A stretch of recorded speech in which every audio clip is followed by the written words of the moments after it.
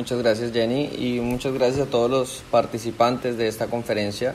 Eh, siempre, siempre felicito a las personas que, que quieren aprender, eh, porque eso es querer hacer que las cosas eh, pasen. Voy a compartirles mi pantalla. Eh, confírmame Jenny si ya la están viendo.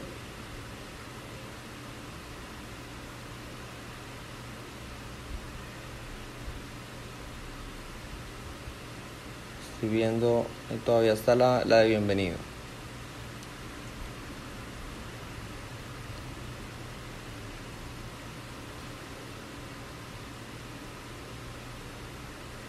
Eso, perfecto. Ahora sí. Muy bien. Eh,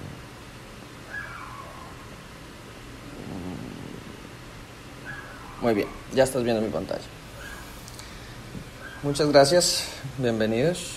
Em, gracias por la presentación. Eh, aprovecho para, para contarles que eh, como con toda nuestra experiencia desde, desde marketing, em, contarles que es un Chief Digital Officer. De pronto para algunos es un poco confuso ese, ese cargo. Eh, queremos llevarlo a lo que es esa realidad de, de, ser un Chief Digital Officer y es hacer una dirección operativa de eh, un equipo de más de 25 personas hoy en día a nivel de, proyectos. Esto eh, lo, lo que nos permite en este momento es querer transmitirles muchas de esas mejores prácticas empresariales, no solo desde la dirección operativa, sino que como director operativo eh, también soy empresario y queremos traer para ustedes estas prácticas. Estas prácticas no van a estar ligadas hoy eh, desde un punto de vista de aplicativos necesariamente, de herramientas puntuales, ¿sí? sino cómo desde, desde nuestro punto de vista, desde nuestro producto, desde nuestra empresa debemos entrar a aplicarlas de forma que esto afecte toda la organización de manera transversal. Entonces, eh, eh, como ingenieros de marketing hacemos parte de esta iniciativa que Jenny menciona, eh, una iniciativa eh, que es muy grato ser parte de ella, eh, donde buscamos con, con, esta red de conferencias aportarles mucho a sus compañías.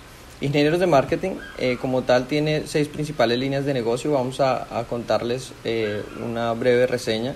Somos una empresa enfocada en la maduración digital de las compañías.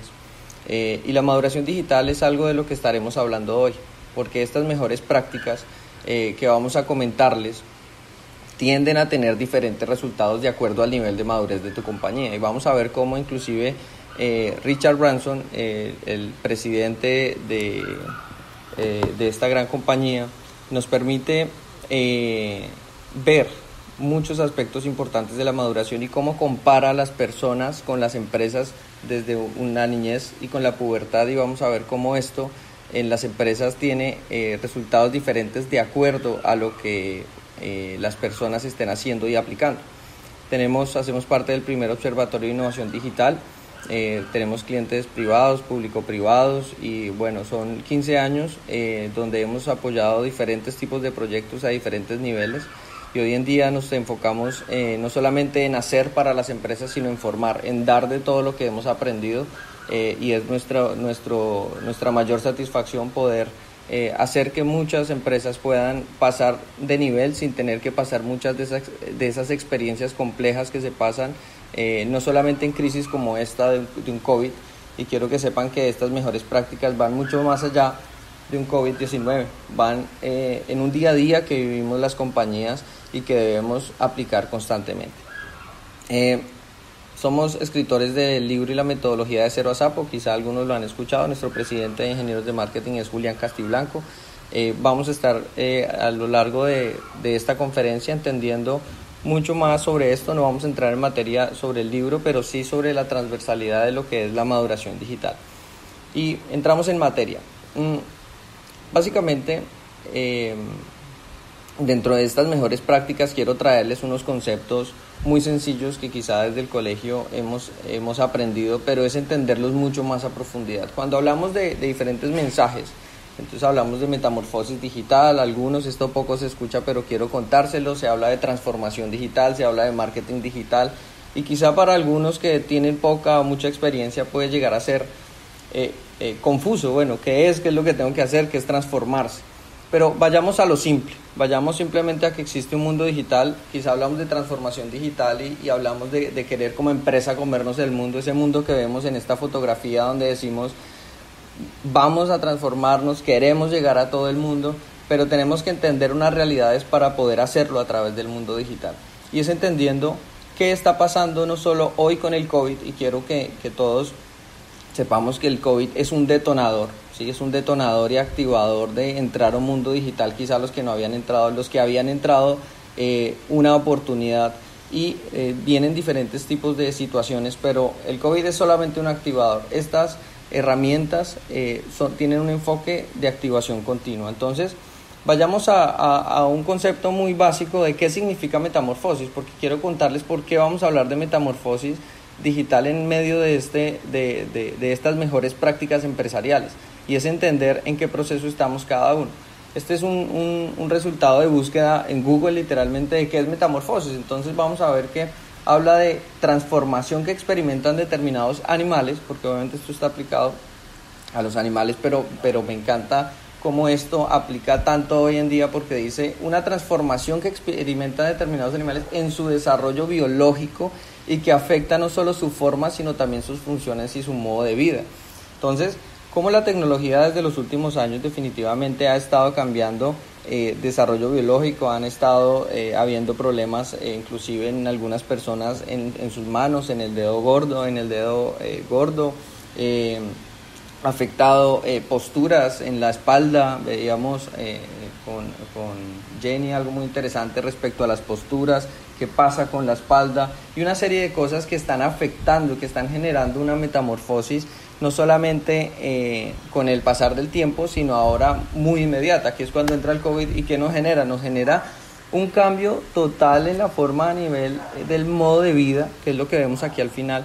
Y este modo de vida es que tenemos que quedarnos quietos y los que de pronto no estamos o no están acostumbrados a estar absolutamente quietos, tiene que cambiar completamente basado en lo que hoy en día eh, llamamos el mundo digital, más allá de una transformación. El mundo digital y es algo también que quiero transmitir eh, hoy y es que el mundo digital hace parte de una serie de herramientas. Marketing digital no lo eh, canonicemos como eh, que es simplemente algo en lo que es todo lo que hay que hacer. Cuando marketing digital es importante que entendamos que hace parte de ese pool de herramientas del marketing tradicional.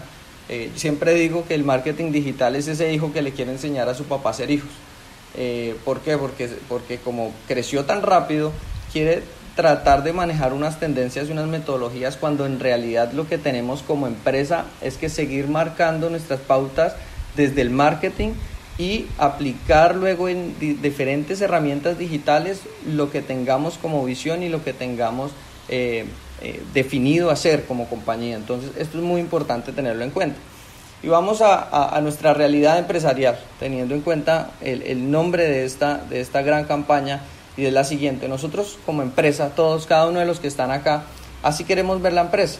No necesariamente porque sea una mariposa, sino por, por el proceso que vive una mariposa, donde la mariposa en este punto se ve reluciente, con buenos colores, está en su máximo esplendor.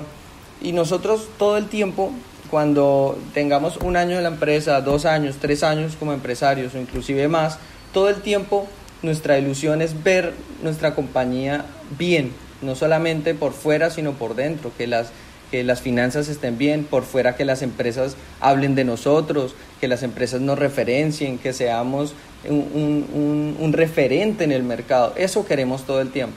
Pero resulta que muchas veces la idea es esa, pero entonces tenemos que entender en dónde podemos estar. Resulta que muchas veces estamos así, como vemos en la diapositiva.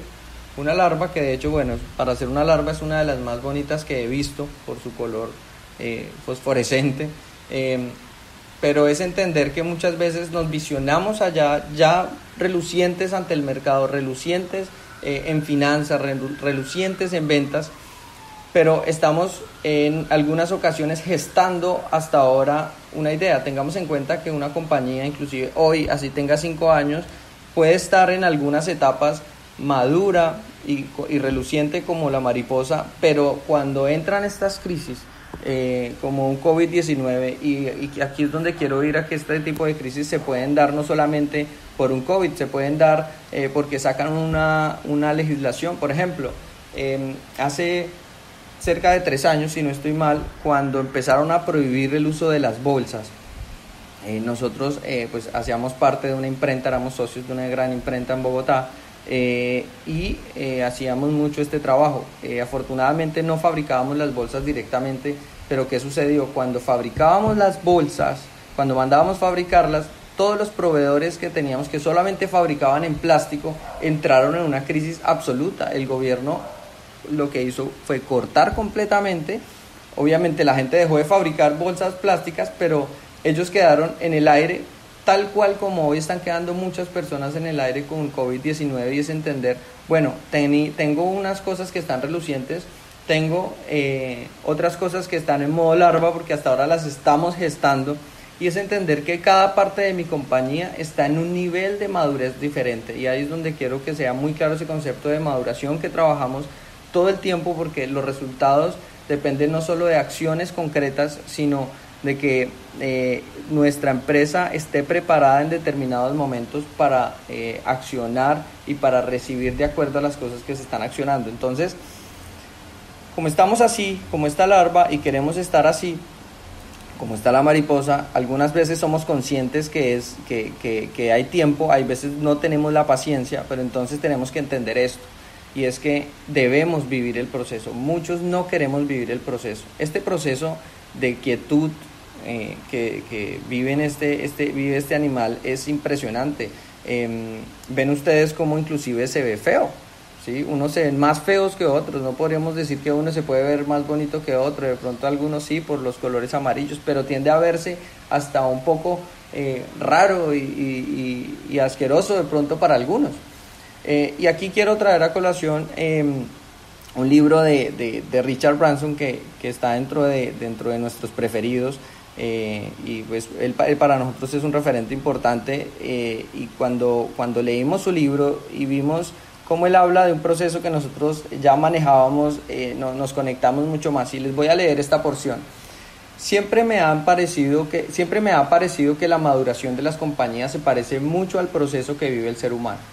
Cuando son niños, tratan de salirse con la suya en su camino de búsqueda y por eso gozan de un factor de perdón más alto ¿Esto qué significa? A veces emprendimientos que inventan, inventan y finalmente gozan de, no tener problemas serios como si puede tener una compañía al, de pronto tener, al, de pronto generar algunas acciones eh, que sí le pueden traer repercusiones legales.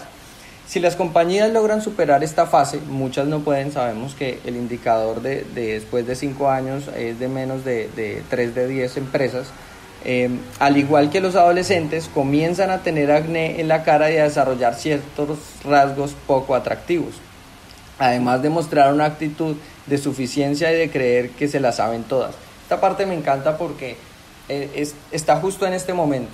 Hay empresas que están en un excelente momento donde están desarrollando sus procesos, sus servicios, sus productos y a veces puede que no sea tan claro un portafolio, pero porque se está construyendo. Entonces, está, es muy cerca a esto que, como lo menciona Richard Branson, que son rasgos poco atractivos y además demostrar una actitud de suficiencia de creer que se la saben todas, que es una etapa donde, donde que, que no quiere decir que, no esté, que esté mal, sino que simplemente hace parte de ese proceso de crecimiento. Y esto tengamos en cuenta, porque sé que aquí pueden haber muchas personas que ya tienen un recorrido con su empresa, quizá tienen 10, 15, 20 años, y no se trata solo de toda tu compañía, se trata de qué parte de tu compañía puede estar en este proceso. Porque cuántos podemos tener 20 años en una compañía, pero cuánto tiempo llevamos en el proceso digital. Podemos estar hasta ahora construyendo estos procesos. Enseguida viene la etapa de, de mayor madurez, probablemente han aprendido de sus errores y se han estabilizado. Sin embargo, durante este periodo acechan muchos peligros, entre los cuales quizá el mayor sea el de, el de dormirse sobre los laureles. Cuando la compañía llega a la fase de la crisis de la edad mediana, se empieza a poner perezosa, aumenta su peso, deja de innovar y como los adultos puede pasar más tiempo mirando por el espejo retrovisor en lugar de crear nuevas formas de avanzar y de ver qué va a ocurrir en la siguiente esquina. Esto les súper recomiendo este libro. Eh, eh, me encanta esta analogía de, Richard Branson, donde entendemos los niveles donde puede estar nuestra compañía y entonces aquí eh, justamente parte, parte no, sino que lo que vamos a ver es esas recomendaciones empresariales que van más allá de usa Facebook, usa Instagram, aparece en Google, no, tenemos, vamos a ir una, un escalón más arriba independiente de, eso. Eh, ahora está TikTok, mañana aparecerá otro, pasado mañana otro, pero vamos a trabajar sobre un escenario superior para que podamos adoptar cualquier cosa. Muy bien. Este es el proceso de madurez digital que desde ingenieros de marketing hemos construido y queremos transmitírselos porque hemos comprobado cómo funciona una y otra vez en las compañías. Y es que vamos a ver que aquí, en esta parte, eh, a medida que va aumentando el tiempo, en el eje X, en el eje Y tenemos las oportunidades, la presencia estamos hablando que tú como compañía debes generar presencia constante. Y aquí es donde, aunque hay diga madurez digital, podría decir madurez, porque muchas compañías, más allá de lo digitales o no, han estado haciendo un proceso de presencia. ¿Presencia qué es? que tú te presentas ante los clientes constantemente, que tú estás haciendo llamadas constantemente, que tú estás enviando información constantemente, que te estás presentando, que estás buscando oportunidades. Eso es hacer presencia. Entonces no significa que solamente debemos hacerlo de manera digital y aquí es cuando debemos entender que ir al mundo digital no quiere decir dejar lo tradicional porque eso es un peligro. Sabemos que dejar de, dejar de lado algo que ya funciona eh, para llevar todo a otro lado es un riesgo muy alto, porque la madurez digital tiene dos grandes eh, formas de, de, trabajarlo. Resulta que vamos a tener una madurez digital para empresas que tienen quizá más de 10 años en el mercado y activan su presencia digital. Va a ser muy diferente los resultados a una empresa que lleva tres meses en el mercado y activa, activa su presencia digital. ¿Por qué? Porque una presencia que lleva, una empresa que lleva 10 años haciendo presencia en lo tradicional, es decir, con un punto de venta, con ejecutivos de venta visitando empresas. ¿Qué pasa cuando activa sus redes sociales? Lo que está haciendo es activando en la mente de las personas cosas que ya han vivido en lo presencial, lo cual conecta y empieza a generar impactos de visibilidad, que es lo que estamos viendo en este gráfico. Ahora, estos impactos de visibilidad se dan en ese caso. ¿Qué pasa en el caso de una empresa que eh, tiene muy poco tiempo y empieza a hacer presencia. Entonces dice, bueno, empiezo a mover mis redes, pero nadie me pregunta, nadie me solicita información. No, no podemos hacer presencia pensando en que me van a pedir ya eh, cotizaciones. Tenemos que entender que es un mundo absolutamente grande donde debemos generar visibilidad, que es como una persona cuando hay un 50 personas eh, de pie y resulta que hay un tipo que es 50 centímetros más alto. Entonces, está generando visibilidad. ¿Cómo como empresa vamos a generar visibilidad en medio de un mercado tan competido? Una de las tácticas es entrar a crear contenido de valor. Se está hablando de esto hace mucho tiempo y sé que, que para algunos es bueno, que es contenido de valor. contenido de valor es cosas que tú hoy en día ya tienes eh, dentro de tu eh, negocio, dentro de tu empresa, vuélvelo dale, dale vida de la, siguiente, de, la siguiente manera desde lo que ha hecho, eh, desde lo que hizo Apple desde sus inicios, dándole a un producto una caja impecable, una presentación impecable. Ahora, listo, si esto está hablando de productos, a nivel de servicios, a nivel de servicios, eh, ok, no envíes tus cotizaciones por WhatsApp, envíalas en un PDF muy bien organizado, donde se vea muy bien la imagen de tu compañía, envías un correo electrónico y por WhatsApp. Esta es, esta es una de esas mejores prácticas para que empecemos a tomar nota de ellas. Por WhatsApp lo que tenemos que hacer es reforzar la comunicación para que la persona mire su, su email. Bien, ahora si la persona dice por favor envíamelo por acá, son cosas que hacen que la compañía se vea mucho más robusta y no maneje tanta informalidad. No quiere decir que no usemos WhatsApp, es una herramienta fantástica. Solamente que aseguremos que esos impactos y la empresa siempre se vea muy bien, generando contenido que, de, qué, de qué tipo. Eh, puede ser una empresa de maquillaje, ok, eh, créate un ebook que se llame tipos de piel, tipos de eh, color de piel, manejo para los diferentes tonos eh, o en el puede ser un caso eh, un caso muy interesante que hemos estado trabajando a nivel automotriz y es recomendaciones. En este punto las personas quieren saber qué pasa con su vehículo. Ahora, quizá no hagamos lo típico, simplemente entreguémosles eh, una videollamada, digámosles cómo puedo apoyarte en este momento, porque en este, en este momento lo que pasa es que ustedes, cada uno de los que está aquí, tiene un conocimiento específico, que a alguien le sirve y además lo está necesitando. Ese es el gran punto. Entonces, ¿cómo eso que tú sabes que es muy bueno, logras que otra persona que sí lo necesita lo vea? Cuando esa persona lo ve, vas a hacer que genere mucho valor eh, para tu compañía y va a generar una deuda moral justamente porque está recibiendo una información que estaba esperando. Y es una, una forma importante en la cual eh, las compañías ganan eh, respeto ante esa comunidad. Es un tema de presencia constante, contenido de valor, donde en vez de hacer un post, hago un ebook, hago un PDF y entrego la información de diferente manera. Y la etapa de posicionamiento, con el tiempo aumentan las oportunidades. Lo que hacemos es que estas personas que han estado viéndonos, ya sean ellas o personas cercanas a ellas, empiezan a decir, ok, yo he visto una empresa que hace esto para los vehículos, yo he visto una empresa que hace esto de maquillaje, te la recomiendo. Y aquí, señores, es cuando le ganamos la batalla a Google. ¿Cuándo le ganamos la batalla a Google? Cuando la persona necesita algo y antes de ir a Google recuerda a tu empresa.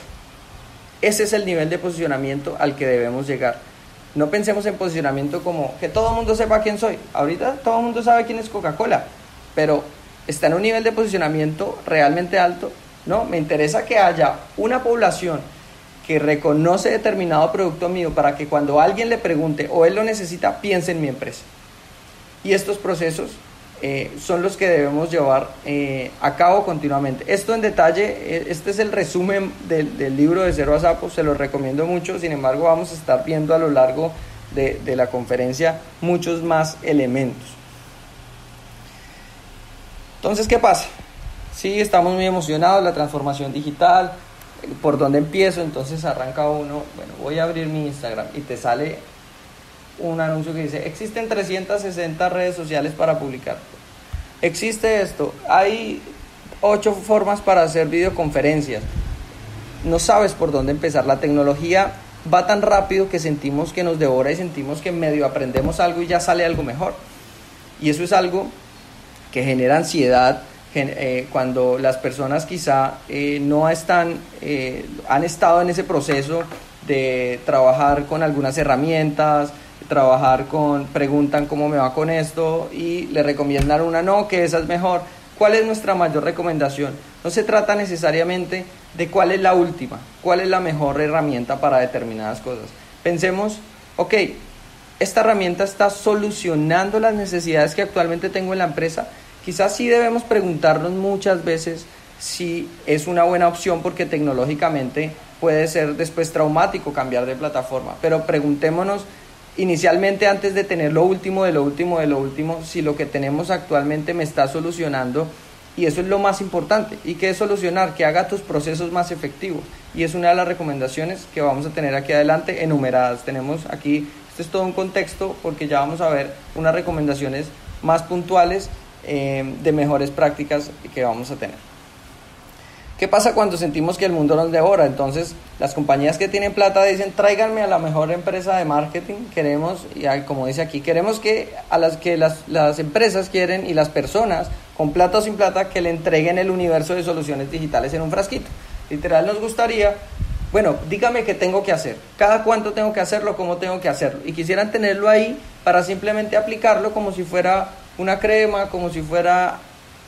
Y no, es entender que el mundo es tan amplio que no podemos enfocarnos en conocerlo todo, porque es demasiado grande. Nosotros que tenemos un departamento de innovación, son tres personas que están continuamente dándonos información. Mira, Fernando, Julián, salió esto, Fernando, Julián, salió esto. Y nos asombramos como ah, eh, si, no hubiese ese equipo de información, inclusive eh, sería muy complejo estar a la vanguardia. Y estar a la vanguardia no se trata únicamente de usar lo último que salga, se trata de asegurar que puedo usar herramientas digitales para agilizar mis procesos. Herramientas digitales no quiere decir redes sociales, que esto es un problema serio que cuando uno habla digital la gente piensa en Facebook, Instagram. Tenemos que sacarnos eso de la cabeza porque herramientas digitales tenemos herramientas para administración de clientes, tenemos herramientas para administración de información. Entonces, Todo eso que no, no busquemos meter el universo en ese frasquito, busquemos meter las herramientas que van a llevar a mi empresa a otro nivel en ese frasquito. Y no nos demos mala vida buscando entender todo el mundo digital en su totalidad. Y por eso les hago esta pregunta. ¿Cuántas cosas en tu negocio controlas sin hacer las cosas directamente?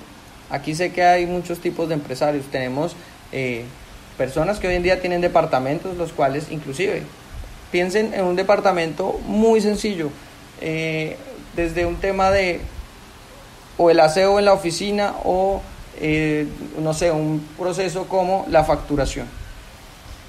Seguramente algunos que están acá no, hacen el proceso de facturación, otros sí. Pensemos que hoy en día uno de ustedes delega su proceso de facturación y simplemente dice, por favor, facturar esto, por favor, facturar esto.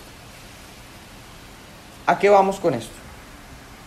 Quizá el mundo digital nos ha llevado a creer que tenemos que volvernos expertos en marketing. Entonces el gerente tiene que volverse experto en marketing, el gerente tiene que, el, el, director tiene que, todos expertos en marketing porque es lo que hoy está funcionando. Pero realmente no es así. El marketing, nosotros hemos entendido que somos un medio y no un fin. No somos la gerencia, no somos la presidencia, somos parte de todos los departamentos que una empresa debe tener para que funcione bien. ¿Y a qué vamos con esto? Así como el departamento de facturación la persona que factura puede tener unos conocimientos puntuales que quizá tú no los tienes, pero sabes cómo dirigir y cómo direccionar eso a nivel de facturación, fantástico. No estás haciendo la facturación, pero estás optimizando tu tiempo. Ahora, llevémoslo a lo, a lo digital. Sí tenemos que aprender, sí tenemos que entrar a, a conocer muchas herramientas. Los que ya tengan equipos de trabajo, entrar a conocerlas para delegarlas y saber qué pueden controlar, saber cuáles son los indicadores, saber cuáles son los variables para poder exigir, porque la forma de dirigir desde una gerencia es entender cuáles son las variables para poder exigir. O si no, yo sé que a muchos les ha pasado que tiene una persona, no entiende qué es lo que realmente está haciendo, entonces no sabe cómo exigirle porque no sabe si en el tiempo que lo está haciendo es rápido o no. Y es lo que nos está pasando a todos con marketing digital, que se, se contrata o una empresa de marketing o una persona recién egresada o un community manager o lo que sea Dice, bueno, hágale. Pero como no conocemos las variables, no sabemos si la persona lo está haciendo rápido o despacio. No sabemos si la campaña que está creando e, es algo bueno o malo, porque no tenemos un criterio. Entonces, el punto y la invitación acá es que no se trata de volvernos expertos en marketing digital o en el mundo digital, se trata de entender las cosas para poderlas controlar, así como controlamos otros departamentos de nuestra compañía. Y esa es una muy grande invitación. Este ejemplo me encanta. Em, quiero que piensen cómo eran las vueltas de banco hace 20 años. Yo alcancé a, acompañar a mi papá, yo tengo 30 años. Eh, mi papá era gerente de banco por, bastantes años. Es gerente, eh, fue gerente. Y em, resulta que él me decía, ¿me acompañas? Bueno, vamos. Y durábamos todo el día por fuera y hacíamos cinco vueltas de banco. Em, Hoy en día, claramente, este ejemplo es curioso porque es, muy básico, pero es la, es la forma de, entender muchas cosas y es que hoy, sí, con un token en menos de una hora, pongámosle, por mucho, hacemos esas mismas cinco vueltas que se hacían hace 15, 20 años. Esto es demasiado obvio, sí, el cajero, el token. Ahora pregúntense cada uno de ustedes, ¿cuántas cosas en su compañía, ustedes creen que están haciendo rápido, pero la están haciendo a la velocidad de hace 15 años, y otras personas o competidores lo están haciendo en una hora como hoy en día con un toque. Es cuando decimos, por eso es que siento que mi competencia va muy rápido. Y sí, eh, empresas que tienen 10, 15, 20 años se enfrentan a esto. Eh, ¿Por qué? Porque se enfrentan a que se viene haciendo de una forma tradicional, que no quiere decir que esté mal, pero con procesos que no son rápidos, por lo cual vuelve lenta toda la compañía. Y aquí es cuando tenemos que preguntarnos todo el tiempo, y va a ser una de las recomendaciones que tengo para ustedes más adelante, es todos los días pregúntense, ¿qué de lo que estoy haciendo hoy mañana lo puedo hacer más rápido. Y no se trata de sobreesforzarnos, de decir cómo lo hago más rápido, decir cómo escribo más rápido. Sí, de pronto cómo escribo más rápido, pero pregúntate cómo a través de la tecnología puedes hacer un procedimiento de tu compañía más rápido. No se trata de reinventar el agua tibia, se trata de encontrar dónde está el agua tibia que necesito para usarla en la parte de mi empresa para ser más rápido.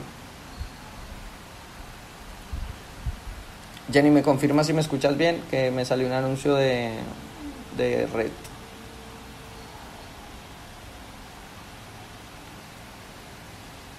Bien, continúo. Entonces,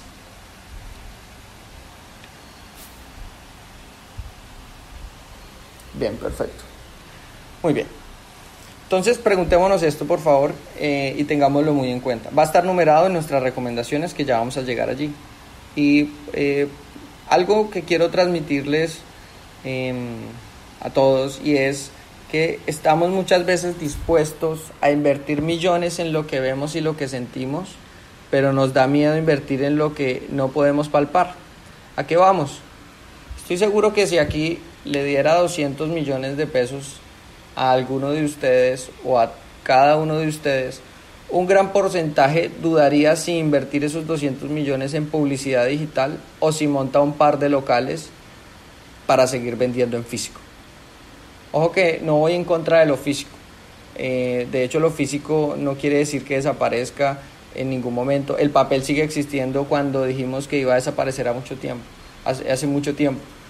El punto es que es más, eh, puede llegar a ser más rentable cuando es algo de cero. Si ya es una red de locales, una red de puntos, es muy diferente a si voy a empezar un nuevo negocio. Porque muchas veces hablamos de inversión en Facebook y pensamos de inversión en 100 mil pesos diarios y nos asustamos. No, pero 100 mil pesos diarios, uff, eso debe traerme un montón de clientes.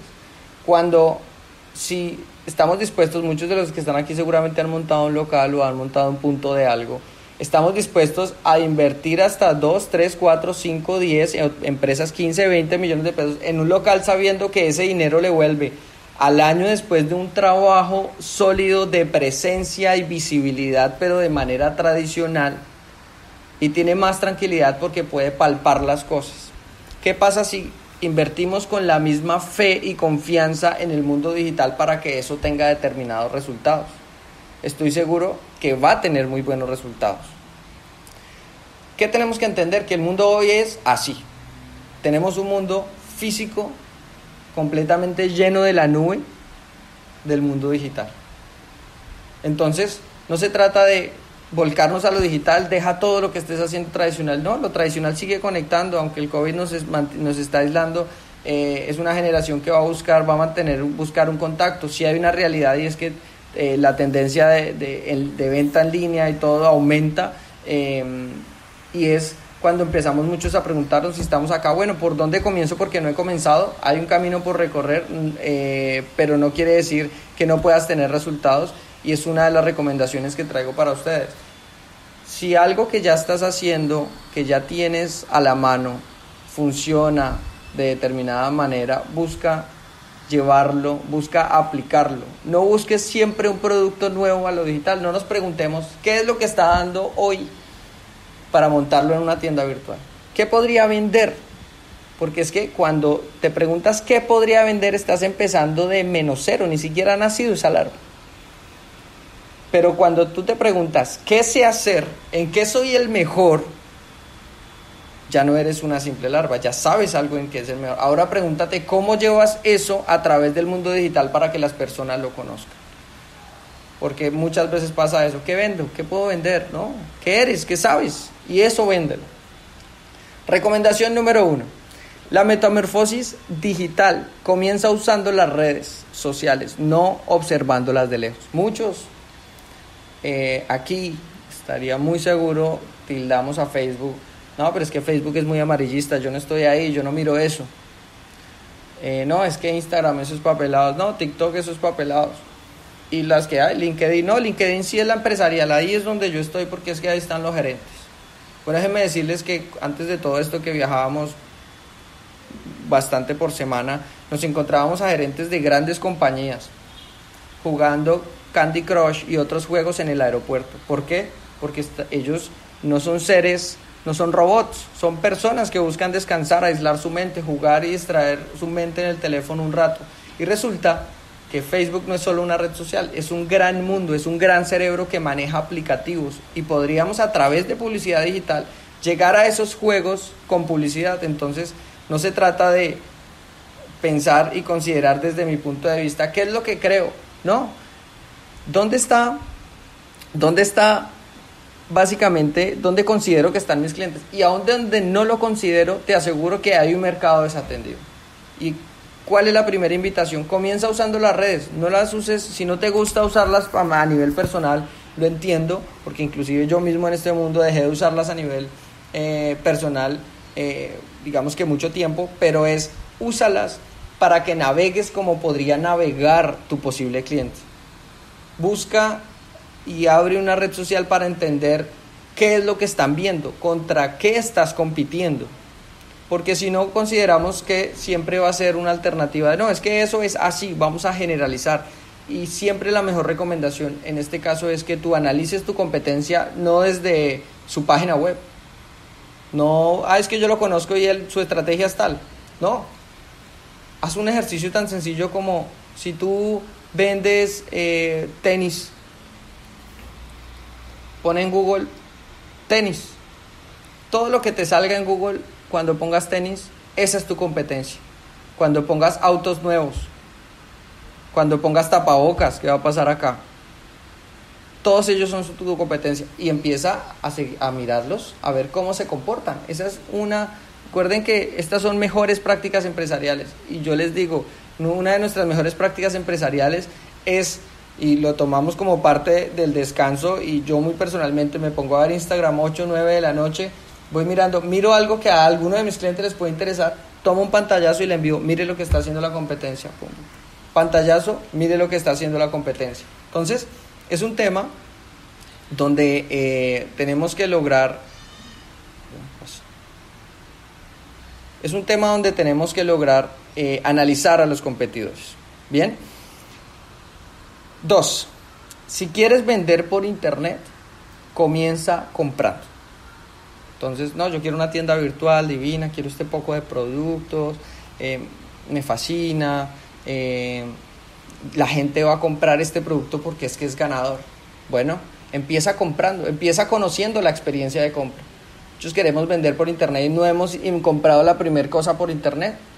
Anímense, algo de 15 mil, 20 mil, está Linio, está Falabella, está un montón de herramientas que hoy en día están entregando cosas. Miren, pedí esto que es para poder poner los audífonos en mi teléfono, llegó en 10 días, pero lo pedí, lo compré y es simplemente entender que así como un día necesitamos algo y salimos a comprarlo, muchos no estamos acostumbrados, pero cómprenlo por internet, hasta lo más sencillo, intenten hacer uno de los mercados por internet, por Rappi, por Éxito, por alguno de estos lugares, y ahí van a empezar a empaparse de lo que realmente los usuarios están sintiendo porque se trata de eso, de entender, ay, es que estos banners aquí, aquí hacen publicidad, me gustaría estar acá, yo quisiera una aplicación, quisiera, eso es muy importante.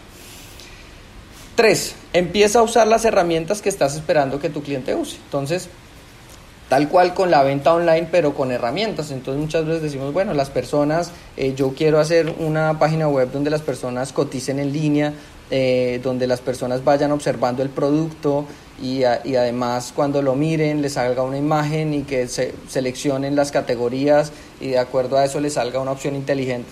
Bueno, muy buena la idea.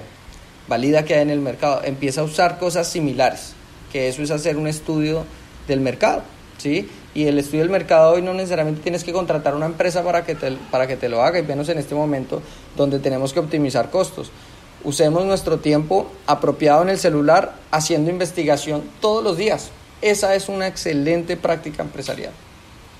Cuatro, se los dije al principio, marketing digital es el medio, no el fin. ¿Por qué está este overall acá? Porque quiero que entendamos que el marketing digital es una de esas herramientas. No son todas. no es volcar el 100%, sino que debemos, sí, ahorita debemos tener quizá en el bolsillo del frente que tiene aquí el personaje, que sea mi principal stock de herramientas digitales, pero no quiere decir que debamos de hacer cosas que hacemos en lo tradicional, como llamar a nuestros clientes, como enviarles un correo eh, con información, cosas que se dejan de hacer pensando que todo está en las redes sociales. No necesitas, y esto va muy ligado a lo que les mencioné hace un momento, número 5, no necesitas un producto o servicio exclusivo para tener éxito. Asegúrate que marca la diferencia con servicio y tecnología. Se los dije con, con, el ejemplo, no, se trata de, bueno, ¿qué ofrezco que no tenga nadie? ¿Qué, voy a vender esto porque esto no lo vende nadie? Cuando saques eso que no vende nadie, lo saques al mercado, lo van a copiar así de rápido. Porque es algo bueno, porque es algo interesante. No nos preocupemos por tener algo completamente exclusivo. Aseguremos que la experiencia del servicio en las personas es buena y aseguremos el buen uso de la tecnología. Y simplemente ese producto va a fluir en esa cama de ventas. Entonces, no dejemos que nuestra mente desembarque en que necesitamos un producto exclusivo para poder vender y poder salir en Internet y que queremos algo único. No, servicio y tecnología. Eh, número 6, haz la vida de tus clientes más fácil, feliz y mejor. Esta también es una frase muy interesante de Richard Branson, un poquito modificada, por eso no, no puse eh, la mención, porque él habla de la vida más fácil a los clientes, más fácil y, feliz. ¿Qué es hacerle la vida más fácil a los clientes? Hoy en día, en este momento, eh, manda a recoger. Tu cliente necesita un mantenimiento de un dispositivo, de un computador, necesita eh, que eh, revises, que, revise unos que tú revises unos documentos por él, necesita algo que no puedes ahorita ir a recoger, mándale un mensajero para que la persona le entregue las cosas y lleguen a ti. Es anticiparse con la tecnología. ¿Y por qué hablo de tecnología con un mensajero? Porque existe una aplicación que se llama Mensajeros Urbanos, que no sé si todos lo conocían, o el mismo Rappi, solo que ahorita está desactivado el Rappi Favor, pero Mensajeros Urbanos te permite, eh, necesito llevar esto de aquí a aquí pesa tanto y eh, simplemente alguien dice, listo, yo estoy disponible, va y lo recoge, lo entrega y para de contar. Mensajes, envíos de 4 mil, 5 mil, 6 mil, 7 mil pesos que pueden solucionarle a muchos la vida desde lo que tú haces. Eso es hacérsela mucho más fácil. ¿Por qué, esta imagen de este perrito disfrazado de unicornio? Porque muchas veces nos toca hacer maromas, disfrazarnos, hacer lo que sea con tal de que el cliente se sienta feliz con que el cliente sienta que además nos estamos esforzando para que las cosas queden bien. No quiere decir que vamos a hacer el ridículo necesariamente tampoco, llevándolo hacia esto. Es que hagamos lo necesario para que el cliente se sienta todo mucho más fácil, feliz y mejor de parte de tu compañía. Y fíjate que no siempre se trata de, del servicio que prestas, se trata alrededor del servicio o producto que vendes, qué puedes hacer antes y después para que la vida del cliente sea más fácil. Número 7 ya se lo mencioné, pregúntate todos los días si algo que hiciste hoy mañana lo puedes hacer más rápido. No quiere decir sobreesforzándose con tecnología. Que debe existir un aplicativo que haga esto. Debe existir un aplicativo que haga esto.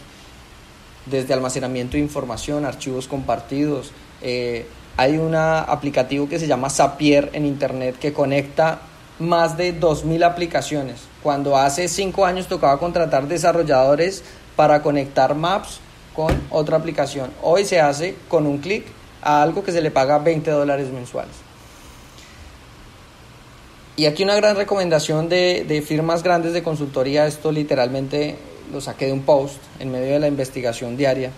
Eh, esta es una consultora de Ernst Young, es una empresa de consultoría grande.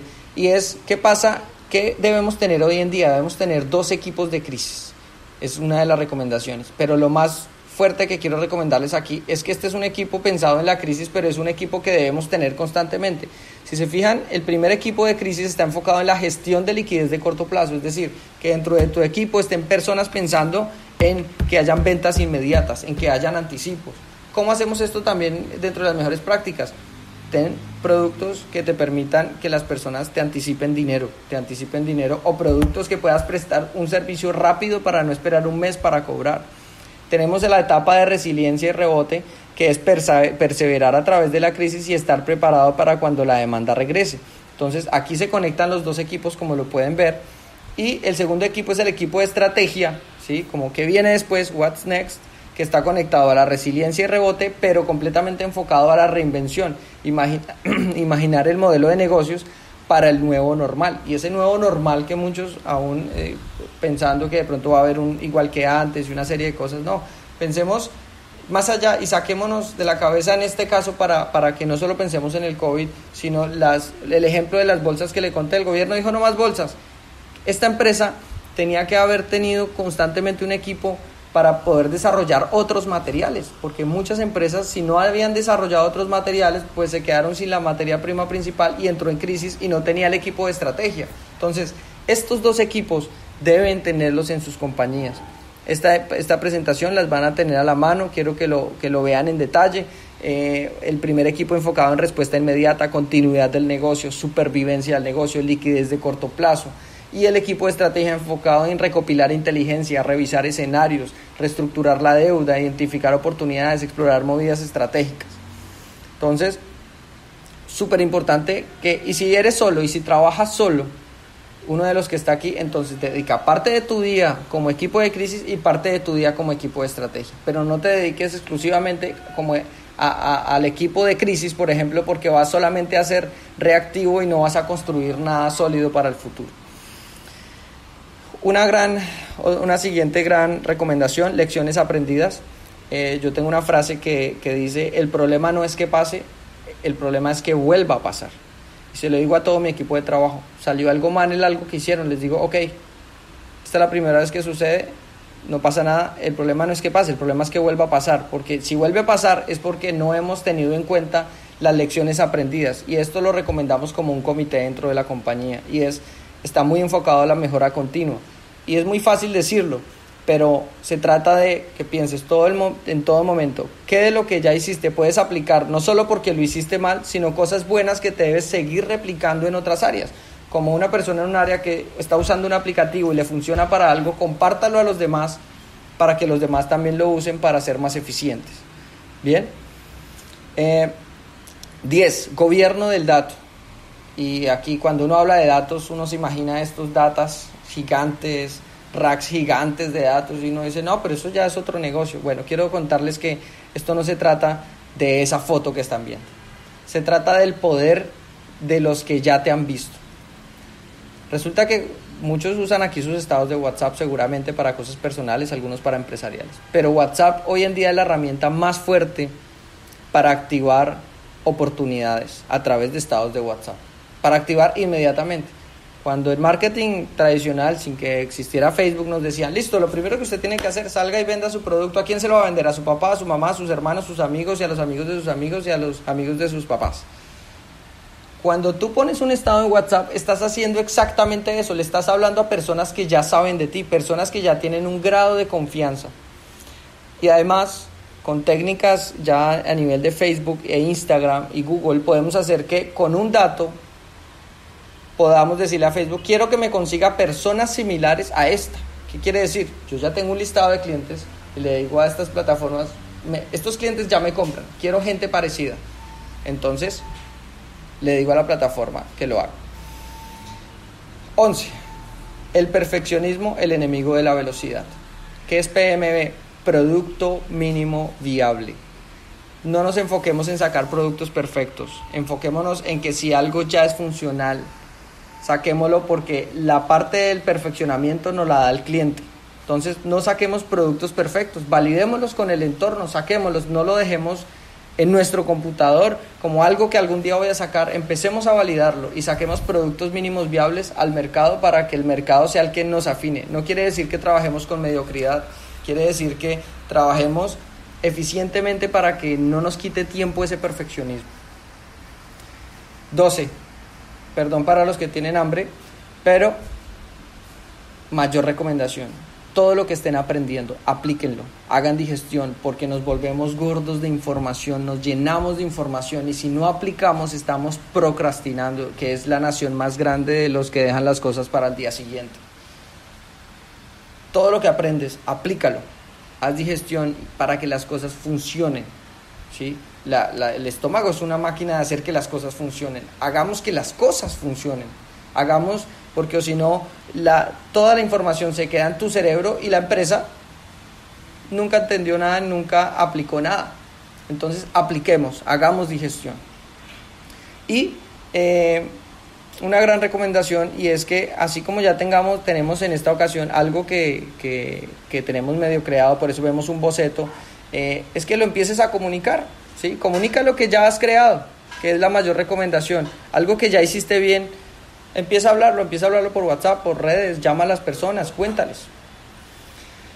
Y la ah, recomendación final, una gran práctica, es que apliques la disciplina, la constancia, la paciencia y fe del mundo tradicional en un local, en lo que haces, tus visitas. Aplica esa misma fe sabiendo que entre más personas visitas, más te compran, que entre más personas llamas, más te compran, que entre más publicidad digital hagas, más posibilidades hay que, que te compren. Entonces, aplica esta disciplina, constancia, paciencia y fe del mundo tradicional en lo que no ves, pero ya sabes que existe, el mundo digital. Esa persona que ves aquí arriba es una persona lanzándose al mundo digital sin mente. Que no siempre significa inversión, significa tiempo, significa fe. Muy bien, muchas gracias a todos los participantes.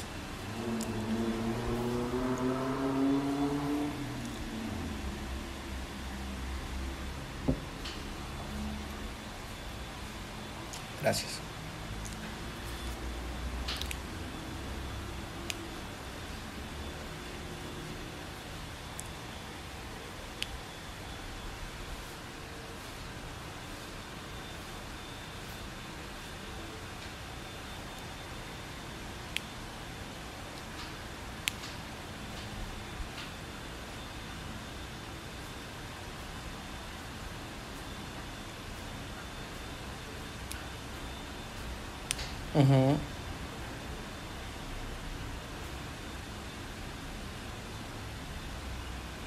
Los puertos, estamos hablando, sí, puertos para importaciones, ¿correcto?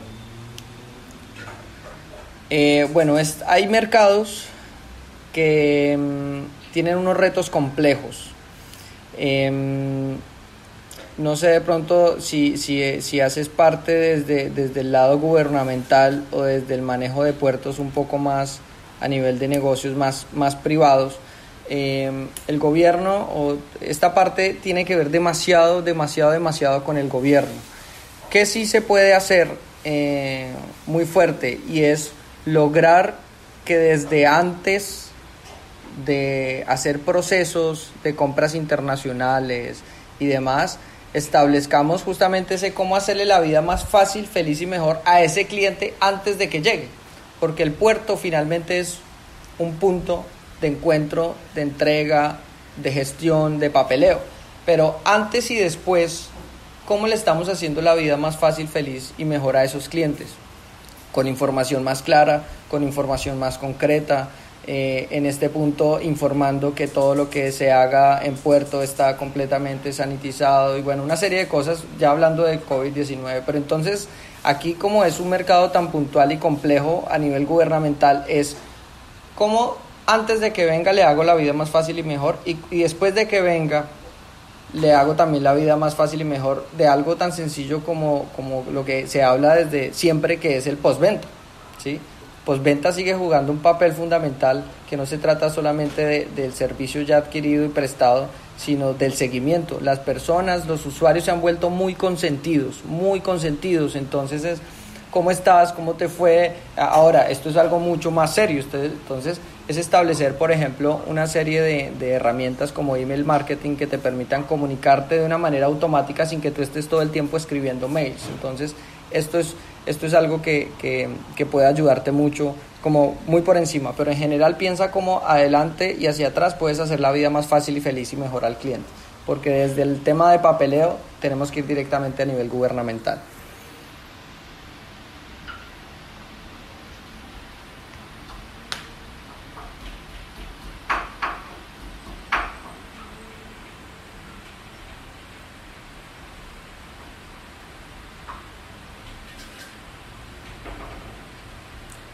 Eh, repíteme la pregunta.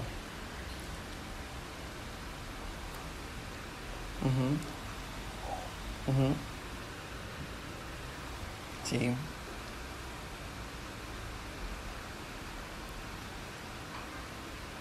Bueno, eh, aquí hay temas, vamos a ir a algo muy, muy básico, que es em, temas tan sencillos como en casa los auriculares, eh, tener espacios de trabajo eh, específicos. Son cosas que están haciendo nosotros, hacemos conferencias virtuales hace 15 años.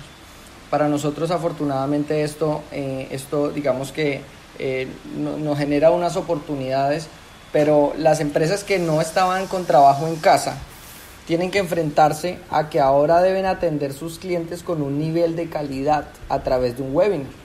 Entonces, las tendencias y una tendencia que estamos marcando nosotros es hacer, darle al cliente, al que atiendes a través de una videollamada, una experiencia digital. ¿sí? Asegúrate que eh, puedes hacer videos introductorios, ¿sí? puedes hacer que la persona sienta una atención tal cual como si estuviera presencial, porque muchas personas, nosotros teníamos que viajar por todo Colombia porque el 50% de, de, las personas que, con las que tenemos negocios simplemente decían, no, a mí no me gusta lo digital. Decíamos, ok, y accedíamos. Eh, pero entonces, ¿qué pasa? Cuando entran en esta obligación, las tendencias que, que de, lo, de lo que ha estado pasando es que tienes que empezar a marcar la diferencia al otro lado de la cámara. ¿Cómo es? siempre verse bien, siempre asegurar que tienes inclusive un fondo que no tiene que ser el fondo de oficina porque no todos saben que no estás en tu oficina, pero que las, no haya distracciones, bien. Eh, si hay una realidad eh, a nivel de tendencia, a nivel de productos, sobre todo los que tienen restaurantes o todo lo que sea producto físico, y es mencionar que los productos que se están enviando están sanitizados y este tipo de cosas. Entonces, eh, esa tendencia digamos que va muy marcada es a que la experiencia al otro lado de la cámara haga que el cliente se sienta igual de bien atendido porque o si no las personas consideran que inclusive deben pagar menos porque no están yendo a la empresa. Y es un tema fuerte porque estoy seguro que a muchos se los han dicho, no, pero es que en casa no, yo prefiero cancelar los servicios. Se trata de cómo vas a hacer que esa experiencia digital haga que tu cliente siga manteniendo el nivel eh, de recordación que tiene contigo y, de confianza. Entonces está muy enfocado a, a esto.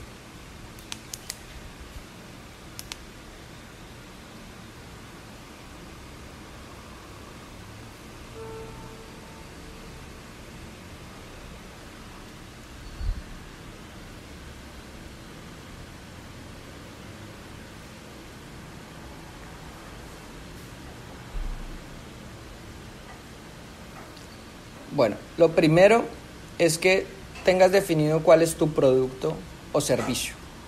Eh, lo dije en, parte del momento es, no te preguntes o no se pregunten eh, qué está dando hoy para ver qué vendo. Pregúntate qué sabes hacer muy bien. De pronto no lo sabes hacer. Si eres eh, muy joven, no pienses en necesariamente en que eres completamente excelente, en que ya tienes una experiencia. ¿Cómo puedes eh, fortalecer esa experiencia y eso que ya consideras que eres bueno y en lo que tienes confianza para venderlo o transmitirlo?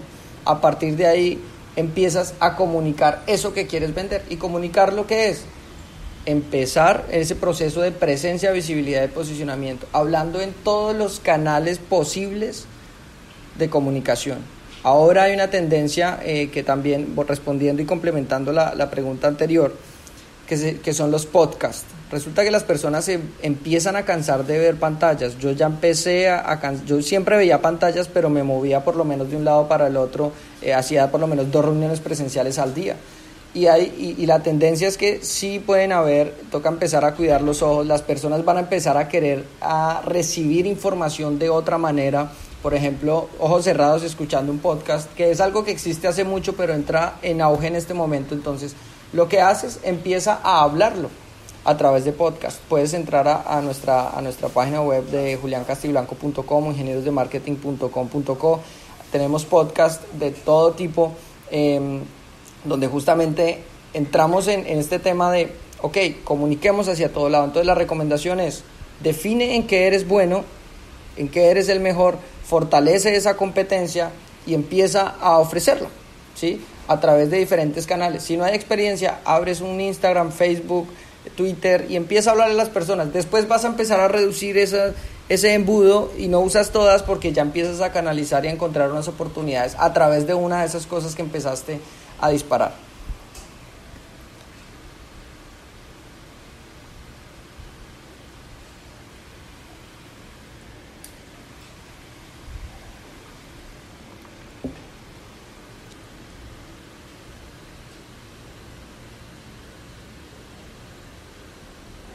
Em, primero que todo, hay, hay algo que, que eh, es, es, muy complejo ahí y es una de las difíciles, eh, más difíciles eh, decisiones al momento de, de, iniciar, pero es, y que quizá cuando lo decidas, no, de pronto no estás tan seguro, y es que debes seleccionar un nicho. ¿sí? Tienes unos servicios, sí, yo sé que mi servicio le sirve a todo tipo de personas, Bien, eso está bien, pero no debes enfocarte en todas las personas. Vuélvete experto en algún nicho. Ok, vendes un, servicios que le sirve al sector médico y le sirve al sector industrial. Ok, o le vendes al industrial o le vendes al médico. No quiere decir que si alguien, si le vendes, decides el industrial y el médico te busca, no le vendas. No, quiere decir que tus fuerzas deben estar enfocadas a algún nicho para que te vuelvas especialista, porque es que el nivel de posicionamiento se da cuando tú logras mantener un nivel de conocimiento tan alto en un sector específico que hace que generes reconocimiento y una reputación más alta. Y eso pasa cuando te enfocas en un nicho, mientras que si ofrecemos en absolutamente todos, entonces eh, va a ser complejo marcar la diferencia, porque es que ahí es donde está lo complejo a nivel de servicios. Entonces, la recomendación es, selecciona un nicho, aunque no estés seguro, o uno o dos, y empiezas a disparar porque debes validar el mercado. Bien, pero si, el, eh, si tienes varios nichos, si tienes varias opciones, que eso es lo más complejo a nivel de servicio, sabiendo que puede servirle a muchas empresas. Entonces la recomendación es que selecciones un nicho y avances a través de, ese nicho, eh, ofreciéndolo y recibiendo feedback para mejorar tu producto.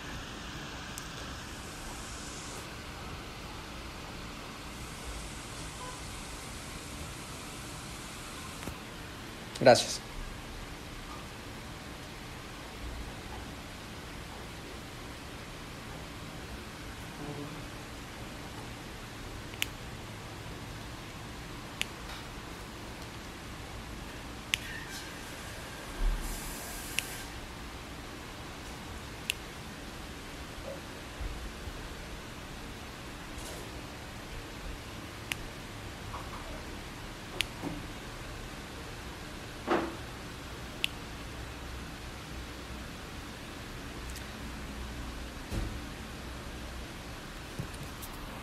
Muy bien. Bueno, eh, mil gracias a todos los participantes por, por estar acá, por su tiempo. Eh, les dejo el correo electrónico, por favor, preguntas que no se hayan contestado. Para mí es un placer dar toda la información y experiencia que hemos adquirido con estos 15 años. Desde los 15 años estoy en marketing.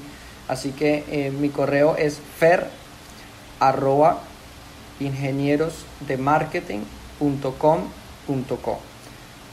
recibidas todas las consultas, gracias por su tiempo y éxitos en este gran momento, no desistan y con toda la energía van a lograr eh, los resultados. Atento a todas las inquietudes.